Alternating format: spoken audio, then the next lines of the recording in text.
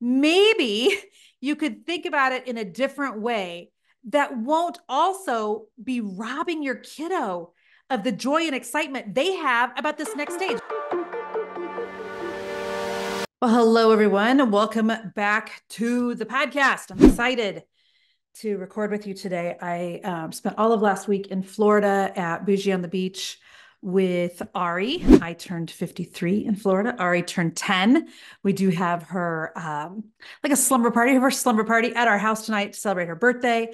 Uh, Jason and Ava were serving on a missions trip with our church. I took Ava on that same missions trip last year and Noah several years ago um, during the same week. And then, you know, the boys are grown. And so they were doing their own thing. And um, when I was on my way back from Florida, I um, sometimes if I have some travel time, I'll do like a Q&A box on Instagram.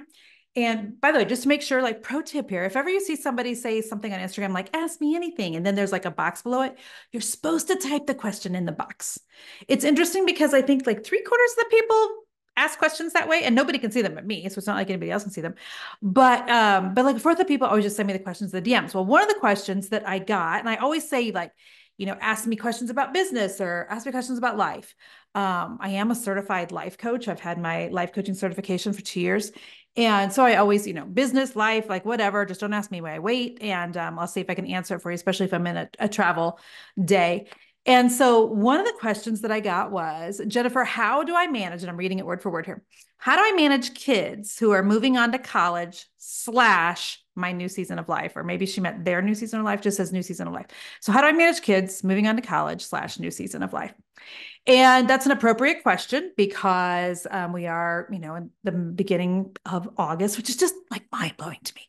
Um, that, that this year is starting out, you know, it's just going so fast. I was trying to tell the ladies in my inner circle yesterday the older you get, I promise, the faster it goes. So for those of you that are younger than me, you're younger than 53, just know every year speeds by quicker and quicker. And I'm like, Lord, how do I, how do we hit like cruise control at a slower speed? And I just, I don't know the answer to that. But I did know the answer to her question in terms of like what's worked well for Jason and I. So I know that normally I talk about business, I talk about biblical things, but today I want to talk about um, launching kiddos.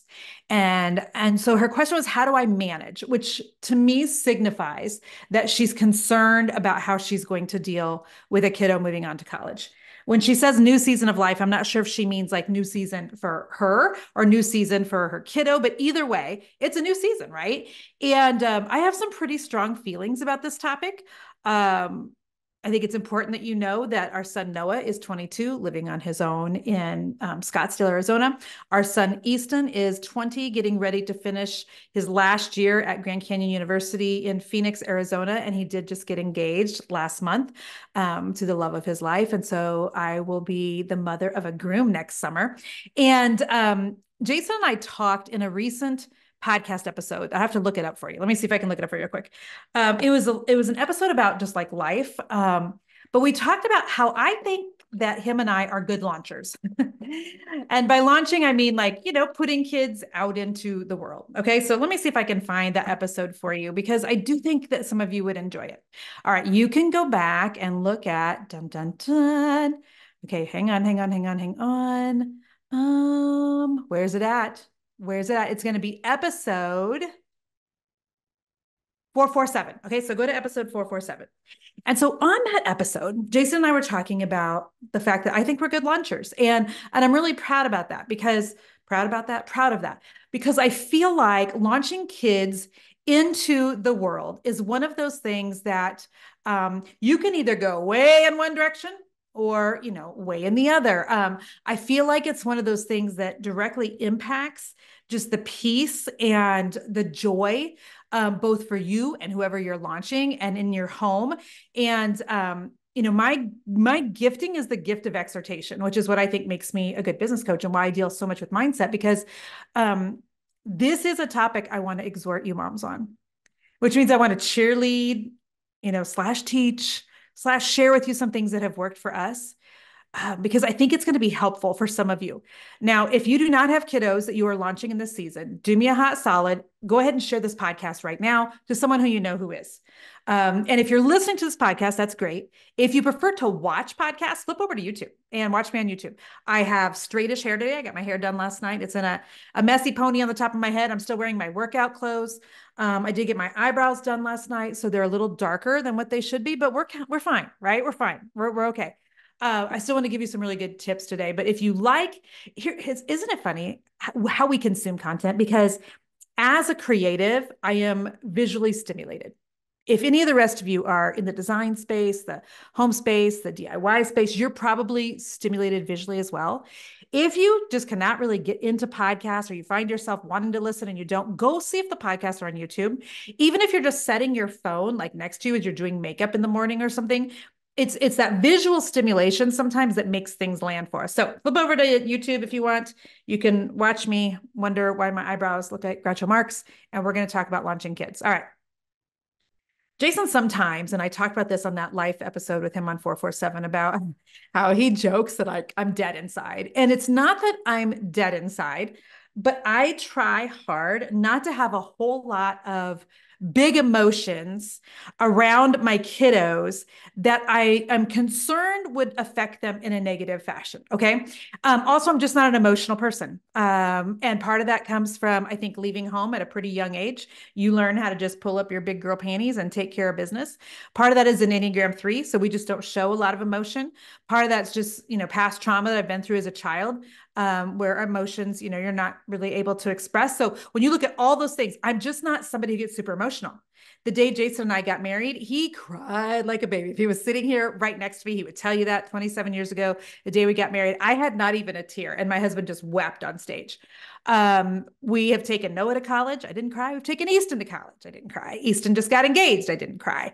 Um, when my kids, we have three of our four children have driver's licenses. I didn't cry. Like, uh, I will cry at things that are kind of weird but I often don't cry on things that seem to be um, really important, where a lot of women would or a lot of parents would. I do find though that a lot of times, like I will, I will express emotion and I'll have big emotions, but sometimes I delay it until it feels like a safer time for me to share them, or I just want to share it, you know, privately with Jason. Um, and so I did not cry for a lot of the big milestones for our children. And one of the reasons is I'm not an overly emotional person. Another reason, though, is because I think Jason and I have loved every stage and every age that our children have gone through. Um, and I think that science, society really wants for you to be overly emotional at times um, about things concerning our kiddos. Okay. So let me give you some examples. That's probably a bad way to phrase that. But I can remember when we had kids and everybody's like, oh, the terrible twos, the terrible twos. So I was kind of like bracing myself for awful twos. And then I felt like, you know what? Why am I doing this? Why am I bracing myself for this? To, like, why am I preparing for hard? It doesn't have to be hard it could be wild, it could be crazy, it could be a lot of things, but I don't have to view it as hard.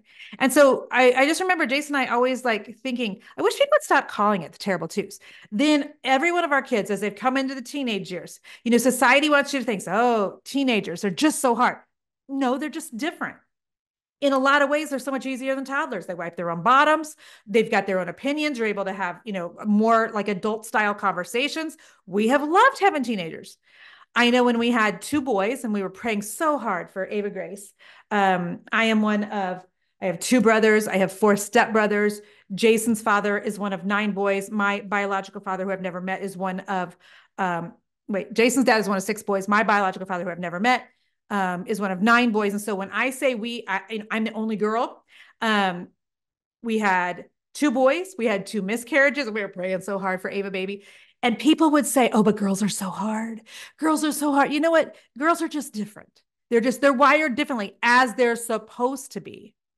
Um, you know, and so I think that society wants for us to like expect things to be hard when it comes to our children. And so I see this on social media in particular right now about launching kids into college and things and and it's um you know i see there's a lot of emotional moms on there and and that's okay i'm not saying there's anything wrong with that but sometimes I wonder are they emotional because they're emotional, or are they emotional because society tells them, you know what you should do? You should really be panicking right now about your kids leaving. You should really be freaking out. You should really be locking yourself in your bedroom and don't come up for air for the next couple of days because it's going to be so hard seeing their empty chair at the dinner table. And I just think it's really all about perspective, friends. I really, really do because how you and if you're married um, you know how you and your spouse decide to view your kiddo leaving whether it's leaving for college or leaving to get married whatever else like how you decide to look at that how you frame that changes everything it'll change everything for sure having launched two children i can tell you that there is an adjustment period it's going to be an adjustment for you as a mother. It's going to be an adjustment for you and your spouse as a couple if you happen to be married. And it's going to be adjustment for the whole family. Um, I know that, you know, at times I've been more concerned about the girls when both boys have left versus myself and Jason. It's definitely an adjustment. So I'm not minimizing that, but an adjustment doesn't have to be bad. Can somebody just tweet that? Can you quote me on that? No, I'm kidding. Adjustments don't have to be bad, right? An adjustment can actually be good. I, for one, because I'm a super creative, so for those of you that are super creatives, I feel like the more that I just share with you, like my aha moments about myself, my hope is, is that it gives you some sort of freedom because a lot of you ladies, excuse me, you're wired so much like me, but you don't understand why you do and feel and behave the way that you do. Okay. So, as a super creative, I love change. I want to change the outside color of our house right now. I have a bathroom with wallpaper, and that wallpaper is less than five years old. I'd like to change that. I have chairs that I want to change out at our house in Florida. Like, I love change. I had this aha moment one of the last times I was at our rental property in Florida that the reason, one of the reasons I think I love the beach so much is A, I love what water does to me. And if you've never listened to my podcast about water, um, you should totally go listen to it. It's called something like why we have our best ideas in the shower. But I just told my team I really want to change that to why do we get our best ideas around water? Go listen to that because water has so much therapeutic um, and creative energy to it. And it's it's super interesting because both biology and the Bible support the same thing when it comes to us being around water. So I was telling my husband that like I love being around water because of those factors, but also because the beach changes every day. The sunrise looks different every day, you guys. Sometimes there's not a cloud in the sky. Other times it's gray and it's fascinating. The beach looks different every day. Sometimes when I wake up, the water is in. Sometimes it's out. Sometimes there's like a ledge of sand.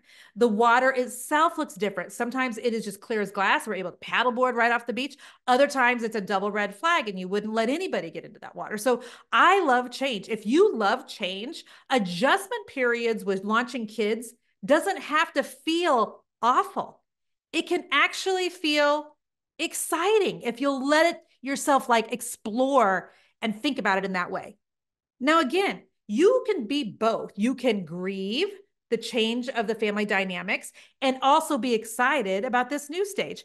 You can be sad that you know you're going to miss a human that you know for most of you we, we've birthed out of our very bodies right i mean i've birthed three of my four um, the other one birthed out of my heart, as you other adoptive moms have. Um, but you know, so so there is like a, a grief that goes with that. But know that that is normal and that doesn't have to be accompanied with depression and sadness and boohooing and, you know, um, and, and just like feeling like it's going to last forever. Yes, you may grieve how your family has shifted, but also that adjustment and that shifting can be super exciting. It really can. Um, I know that Easton, you know, I said got engaged in July. We're in August right now. And this will be my first time, you know, marrying off a kiddo. And um, the truth is, I had more feelings on that day of his engagement than I did with any of our kids leaving, moving 22 hours across the country, anything else.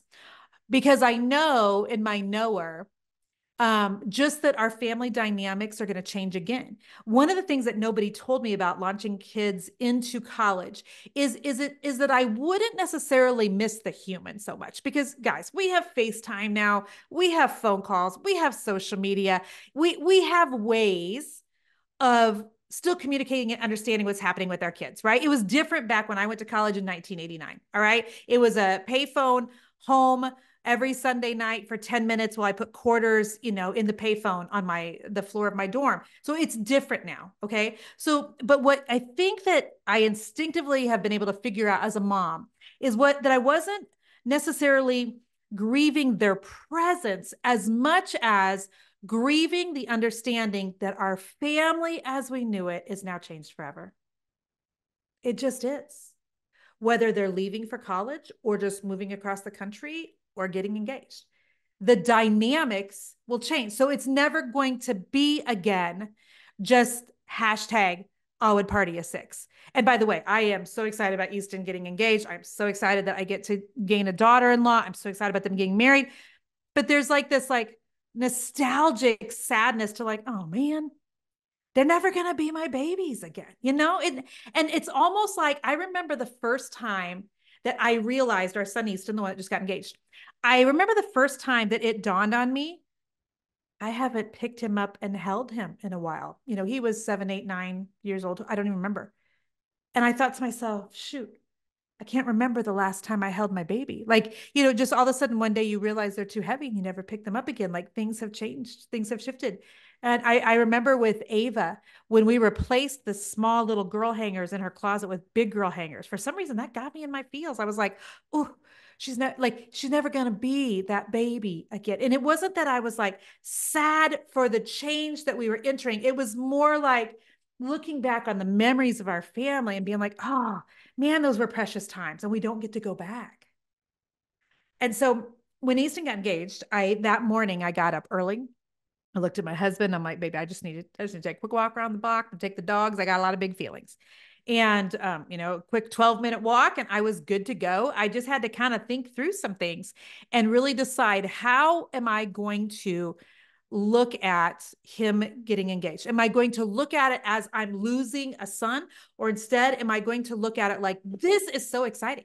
This is what we have raised them to do. I couldn't be more thrilled about, you know, this next stage of life that he's going into and the girl that he's engaged to and them going into it together. They both love Jesus. They both love each other. I mean, it's, I couldn't ask for anything different and and yet my heart was sad. And so a couple weeks after they got engaged um, and and the engagement was phenomenal the party was great all the things. But i called my friend lisa bevere. If you guys don't know lisa if you're not following her on social media you're just missing out on one of our great treasures in this country right now. So you need to go follow lisa.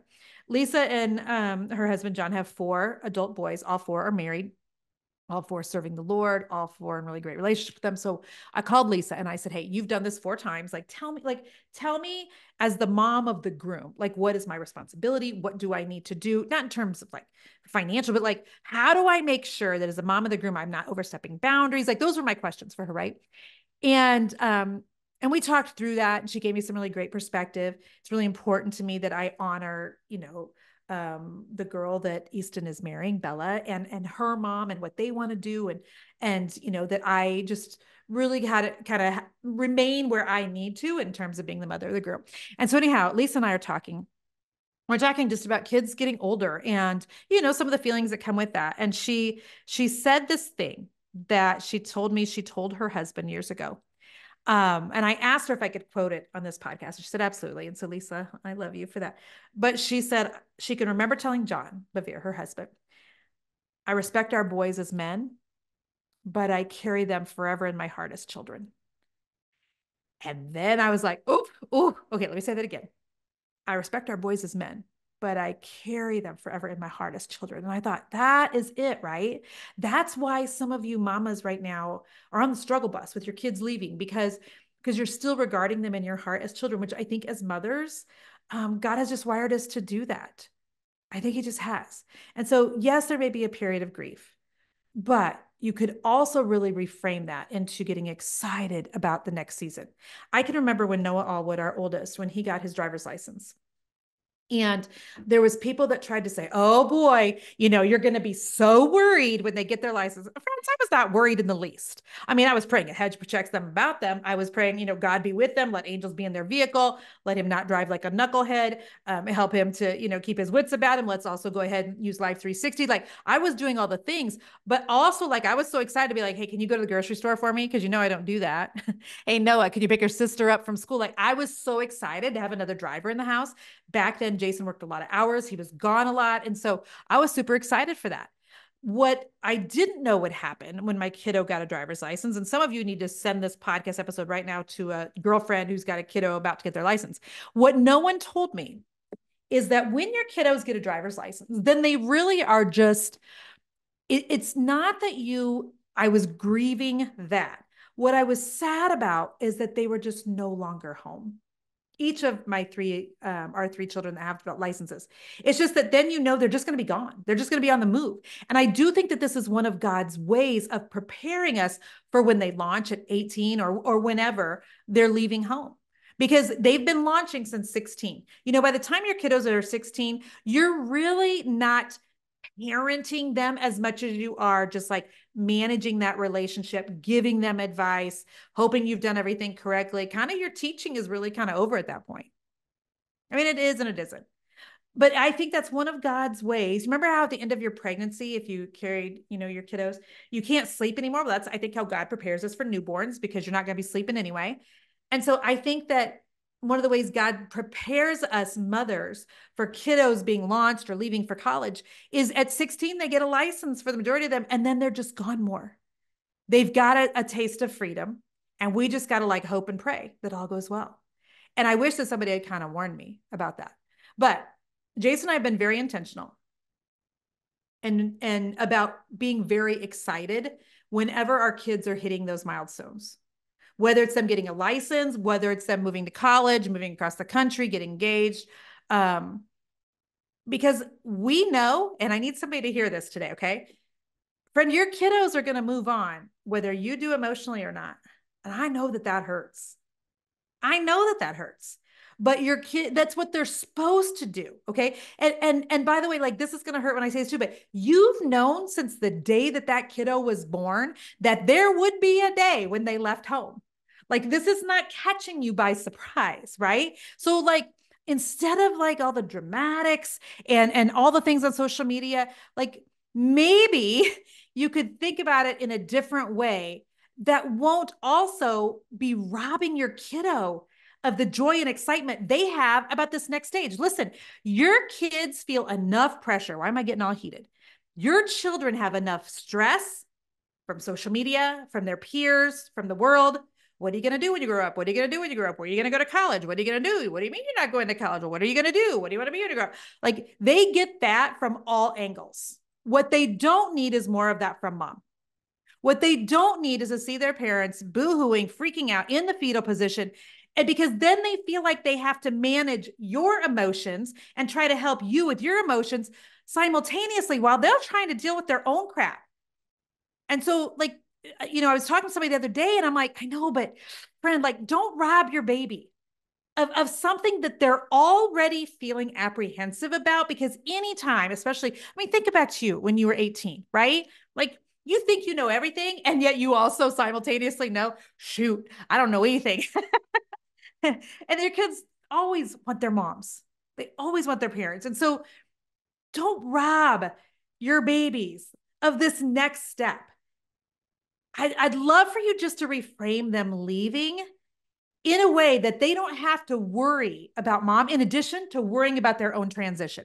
They're already worried about roommates. They're already wor- worried about if they're going to college, their class schedule. They're already worried about are they taking enough credits, not enough. They're already worried about the cost of things. And so I don't want my children to ever feel like, and now I got to be worried about mom too.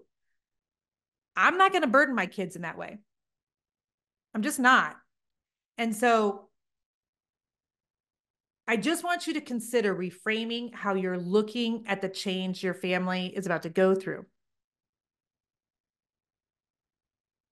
I want to uh, tell you like this story that I heard one time because as a mom, like you really do set the temperature of the home, okay? And your family will feed off of you. I have noticed, you know, in in our marriage of 27 years, like if I am cranky, suddenly Jason gets cranky and I'm like, "Where did that come from? You were fine this morning." He's just feeding off me. And, and the kids do the same thing because the moms usually set the temperature for the home. Okay. So I remember hearing this story once, since we are the temperature setters, about how, um, like, your kids, your whole family really will kind of almost watch you because you set the precedence for um, how to deal with change in the household. Okay. I mean, dad, if you know, dad's there also, but moms especially. All right. So here was a story that I heard one time that I was like, wow, this is this is really good. Um, and I think one thing that we, so I'm gonna tell you the story, but I think one thing we can all be certain about, and all one thing we all can agree on here is that life is full of change, isn't it? Like just when you think you got something figured out, God like allows something to come in or something shifts or changes, and then you're, you know, you're having to like um reset and regroup and all the things again. And so your kids need to have an example in the household of how do we deal with change? How do we deal with job loss? How do we deal with pregnancy loss? How do we deal with bringing in a broken little girl six years ago into our family? How do we deal with Noah leaving to college? How do we deal with now Easton going further across the country? Like, how do we deal with the dynamics of things changing? Because they take that, they take that, and that's like the example that they take with them. And with kids, like more is caught than taught. Okay. So here's a story. I heard this story one time that, like, if you are a nervous flyer, um, then things like turbulence, you know, you're not a fan. Okay. So can, can, I'm not a fan, not a fan of turbulence. Um, I love to fly, but I'm not a fan of turbulence. Well, so I heard this story that was basically like, you know, what most people do if they're on an airplane that is a very bumpy flight, if there's a lot of turbulence, if there's a storm outside, if, you know, uh, things are bouncing up and down, a lot of times what we all tend to do is we look for the, like the the flight attendants, right? I, I always do. I'm like, always, I'm like, look at, I'm like, okay. You know, I'm up looking, I'm like, where's she at? Where's he at? And and I'm looking to see is their face showing panic or not? Because if they're still standing up and they're still serving, you know, ginger ale to people, and uh, my husband always gets like the Bloody Mary mixes, um, just the mix, no alcohol. I don't know why. I'm a ginger ale girl. He's a Bloody Mary. We couldn't be any more different. But if, um, so if they're still like serving drinks and things, then I'm like, okay, I guess they're not worried. I guess if they're not worried, then not worried. I guess, you know, I mean, I'm looking at their faces, and if they're not worried, that's probably a good sign. I don't need to be worried either, right? Listen, your kids watch you in the same way. And if you are terrified about them going to college, like they're watching your body language, your face, what you're saying, what you're posting, all the things. They're they're watching us the same way that we watch like the flight attendants on a bumpy plane. So are you are you showing your kids that you're freaking out about them leaving? Are you showing them you're excited? You've got a lot of confidence in them. You've watched them really mature. You've watched them grow up. You are proud of who they have grown into. You are excited for this next stage of their life. Or are they watching you freak out? They're looking. Are you are you looking forward to this next stage of life both for them and for you or are you absolutely dreading it? Because they will pick up on those cues and that's what they're being taught to feel too. Okay. You know, are, are we sharing our emotions to the point where we're making our kids almost feel guilty about growing up and moving on, which, by the way, is exactly what they're supposed to do. God has only loaned them to us for a short season. We all knew that they were going to go at some point. So I'm not saying that you can't be sad. I'm not saying for you to not show any emotion sadness is a very real emotion. I think it's wise and your kids need to know how to deal with sadness too. But I also think that we can we can remember that sad isn't bad. And we can be sad and full of joy and peace at the same time. We can be sad that we're going to miss their presence in the home every day, but also be so excited. Sad doesn't have to be bad. Sad just is. It just is. Listen, the Bible talks about there being seasons under heaven or in uh, seasons under the sun for, uh, no, seasons in heaven for everything under the sun. There you go. And there are going to be seasons for both you and I where just the dynamics of our families, they change. And one of the sayings that I've told my kids, you can ask them, I'm like, kids, if you can't change your circumstance, and, and then they'll answer for me, change your attitude. if you can't change your circumstances, because your kiddos are going to go at some point, then change your attitude about it. It's all in how you're going to look at it. I'm going to give you just a real quick refresher on what like the life coaching model looks like because for some of you this is really going to land, okay? When when it comes to like coaching yourself on how to behave better, on how to think differently about a situation, here's what you need to remember. Um how you think about something is then going to produce how you feel. So, first you think, then you feel. however you feel then produces your behaviors and your actions and then that dictates how things go okay so you first think then you feel then you act and then you see what the results are. So if you're hating where your current results are, you're in the fetal position, all those things. Well, is it like back that bus up? Is it because you're thinking about this new season as loss, as awful, as a horrible life change. Because if that's the stuff you're thinking, then you're going to feel awful. You're going to feel sadness. You're going to feel grief. You're going to feel dread. And then you're going to further behave out of that. There's going to be crying. There's going to be, you know, you're either not eating or you're eating all your emotions. You know, and so that's and then and so then things that's how things spin out of control.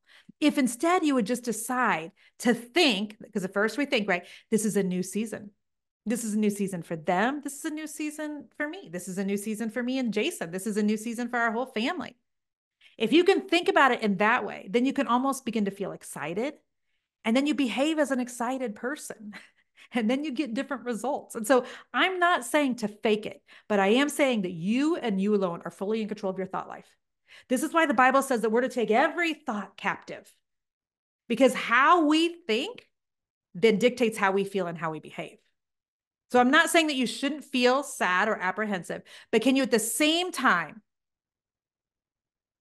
think of a different, like a reframe, like, hey, this is going to be so good for them. Now I get to see them launch. I get to see them like living maybe in a way that I didn't get to. I mean, when I look at like Noah right now, he's bouncing all over um, uh, Arizona. He's, you know, trying some different um, industries. He just got back from like four days in Vegas. I'm like, baby, go do all of that. At 21, I had a mortgage and a lot of responsibility. And he doesn't. So there's a part of me that I'm like, go. I, I mean, have fun, try things. I'm excited for you.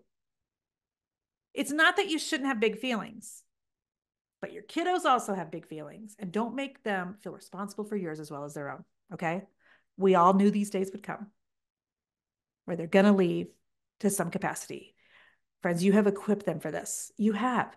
Launch them in a way that shows them you believe in them and that you're going to be okay. So they don't have to worry about you too, and that you're so excited for their future. Don't burden them with your grief if you can. You have girlfriends, you have a spouse if you're married, you have your own mom that you can call, but don't burden your kiddos. All right. Launch them in a way that they're excited to.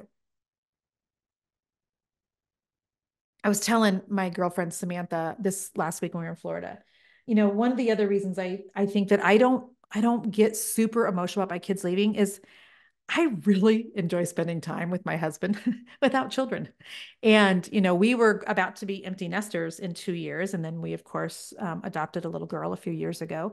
And so now we're back to, you know, we still have an elementary student, but turns out I really love spending time with him.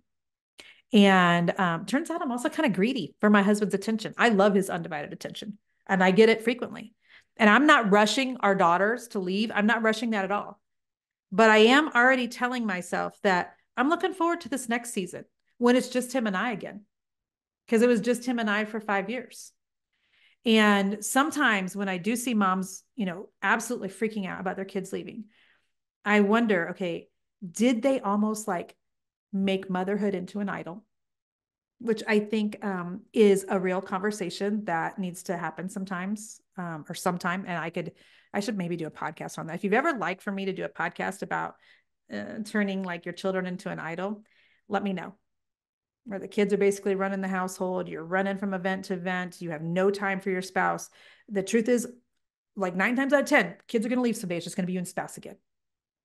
And so sometimes I wonder, did did those moms and those dads have they laid down everything for their children and made like being a parent into an idol?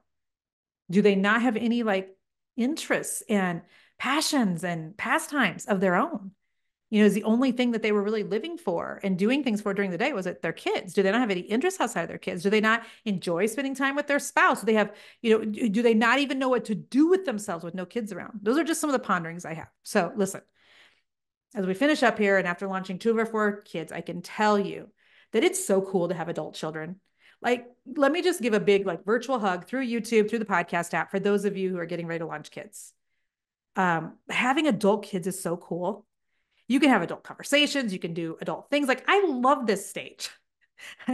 um, and it's funny because I can remember when we went from, you know, the baby to the toddler there was a part of it's like, I really don't want to go back to baby. Those were a lot of sleepless nights. My body was ripped in half. I didn't know who I was, baby, what, you know, and then they go from toddler to um, grade school age. And you're like, okay, like I really, I, I like this stage too. I'm glad that they're now in school and not home, you know, all day, every day. I mean, I love that too, but I love this.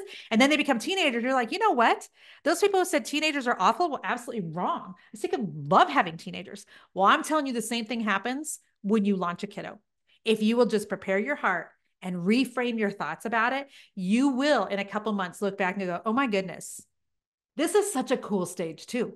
Watching them fly, watching them do all the things, watching them like tap into what they've learned at home, watching them stand on their own feet, watching them cook for the first time.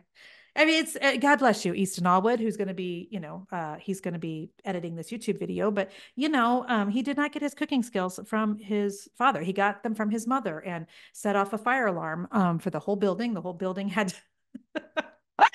they all had to file out on campus last year because he burnt eggs. And this, I mean, he comes back that so naturally. That apple does not fall far from that tree. But listen, I promise you, moms, it keeps getting better and better and better. Okay. Yes, changes are going to take some getting used to. And yes, there's going to be some grief. But sad doesn't mean bad. And um, find ways to keep yourself busy. Find somebody safe, you know, spouse if you're married, girlfriends that you can chat with about it. Send those kiddos off in a good way. All right. They're going to need to tap back into that, you know, because they've got a lot of um, of change coming up too. So, all right. I hope that this was super helpful for somebody today. I hope you still love me. I hope you're not thinking I was being too harsh. Um, but at times, I think it is just helpful to see a whole nother perspective and hear another perspective. And I'm not saying that Jason and I have done it perfect, but I do think that we've done it well. And I think if you were to ask our children, that they would agree with that. So again, forward this to someone who's in a season of change with their children. They've either got a kiddo leaving home, going to a trade school, leaving for college, etc. I hope that this is a blessing to some other mothers. And um, I hope you know that I love you and I'm rooting for you. All right. God bless. We'll talk soon. Bye bye.